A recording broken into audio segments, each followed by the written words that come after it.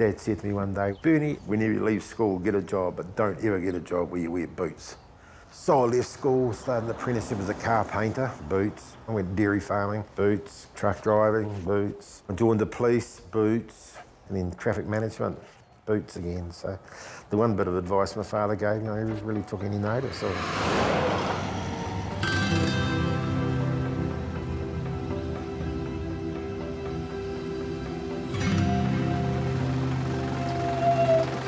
I just can't sort of see me fitting into any other lifestyle. We normally arrive on the site first, the idea being that when the guys with their diggers and trucks or whatever turn up, they can just go straight to work. They don't have to worry about the traffic or the pedestrians. We've got that completely covered.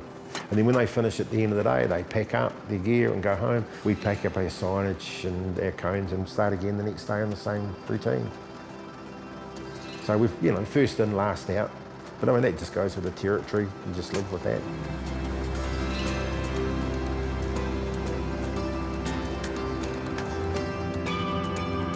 You've got to have a bit of nous, a bit of confidence, making it safe for the road to be constructed and for the public to travel through at the same time.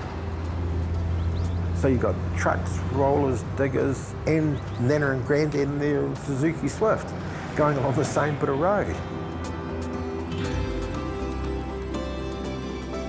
You know, I've got friends who work in Auckland and they love it, but I couldn't sit in a box in Auckland.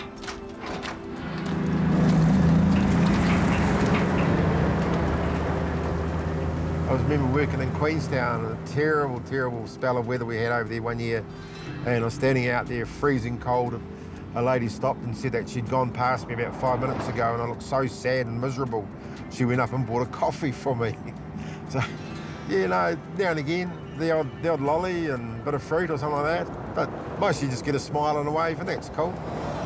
Well, it'd be nice if someone gave me a winning lotto ticket, but, you know, a Chupa Chup's not too bad.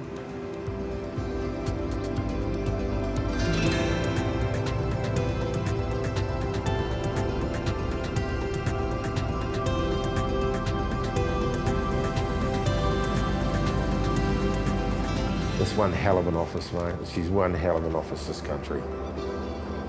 You know, the air conditioning is a bit suspect sometimes with the rain and the snow and all that sort of stuff, but the office itself is just unbelievable, unbelievable.